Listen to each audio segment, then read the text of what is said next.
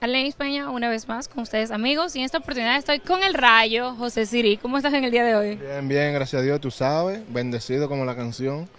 Y nada, aquí tú sabes, dando lo mejor de mí. La última vez que nos vimos estabas con los Astros aquí mismo en Yankee Stadium, una visita más a Nueva York, ahora en tu división con Tampa Bay. ¿Cómo ha sido ese cambio para ti? Bien, bien, bien. Ese cambio, tú sabes que hay cambios que favorecen y hay, y hay cambios que también, tú sabes, no te favorecen. Y gracias a Dios este me ha favorecido y nada, estamos, tú sabes, eh, trabajando duro para poder algún día, eh, tú sabes, estar fijo, tú sabes, sentir regular o lo que sea. Por supuesto, estás aquí en Tampa Bay, estás en la división de la American, la Liga Americana y esta es la división del Este, una división que se caracteriza por ser una de las más fuertes en las Grandes Ligas. Juegan hoy contra los Yankees, un equipo que es, está arriba en la división. ¿Cuál es esa mentalidad para ustedes atacar? No, no, no, eh, sigue igual, eh, cogiendo buenos turnos, la defensa bien. Eh, eh, nosotros somos un equipo competidor. Me di cuenta desde que llegué y vi los muchachos, vi, vi uno, tú sabes, que lo, lo he venido conociendo, ya conocía a Rosarena, tú sabes, pero los otros, y por lo que he visto, tenemos un buen equipo nosotros para competir. Esa dinámica en ese clubhouse, como tienen un manager que es muy conocido, muy respetado, que es Kevin Cash, tienen el, el co- eh, tienen como coach a Ronnie Linares, que tiene que estar familiarizado con él. Esa dinámica en ese clubhouse ¿cómo es? No, no, bien, bien, bien. Ahí siempre hay armonía, todo el mundo relaja, todo el mundo se lleva bien. Eh, desde que yo llegué, de una vez me trataron, tú sabes, como que si ya yo, yo tuviera como cinco años, seis años ahí ya, ¿entiendes? Entonces eso es bueno. Y por supuesto, muchos latinos aquí, que siempre ayuda esa, esa cultura. Y eso ayuda, mira, Peralta también, que lo que lo cambiaron también de Arizona para acá, también estaba Rosarena ahí ya hace rato, está Yandy Díaz, está Paredes, bueno, yo, eh, los coach, Linares, ¿qué más te digo que está ahí? Mejía, Betancourt, tú sabes, eh, estamos bien, nosotros estamos bien. Tienes tus amigos también de la Lidón, hasta Betancourt, están todos. Y, Está Margot, está Franco, que no se pueden quedar esos tigres.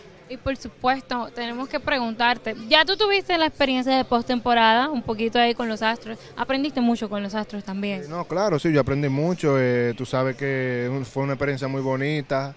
Eh, tú sabes que la mayoría de nosotros los peloteros quisiéramos estar en una temporada, que hay muchos que no han estado y le- o lo sueñan, ¿sabes? Y nada, Dios, Dios me dio esa bendición y estuve ahí con los Astros ahí en la, en la, en la World Series. Y tuviste tú, los Astros, un equipo que está siempre compitiendo, muy competidor.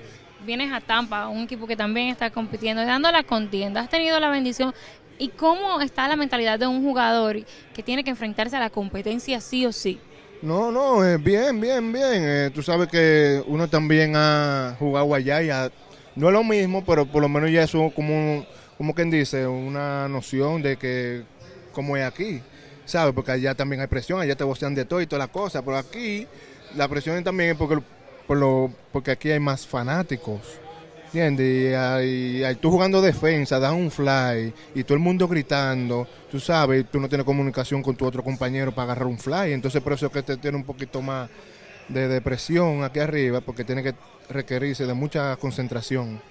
Tú has jugado en la Liga Dominicana ya muchos años, a pelota caliente del Caribe, muy conocido allá, muy querido también. Has ganado el campeonato con más de un equipo.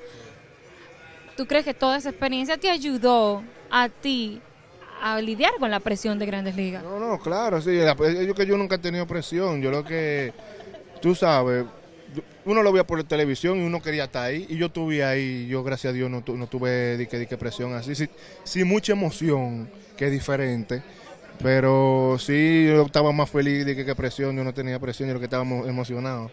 Y tú terminaste la Serie Mundial y de la Serie Mundial, allá mismo, dos semanas después creo, nos vimos allá en Dominicana. O sea, qué tan importante es que a pesar de ya llegar a postemporada y todo eso, seguir eh, en la temporada muerta, tú refinando tus habilidades del béisbol. No, no, no, trabajando, porque tú sabes que a pesar que uno va a trabajar, uno también va por una meta, porque tú sabes que hay el dinero también. Cuando esos, cuando esos equipos están en las finales, tú sabes que los momentos hay que aprovecharlo y así hacen mucho.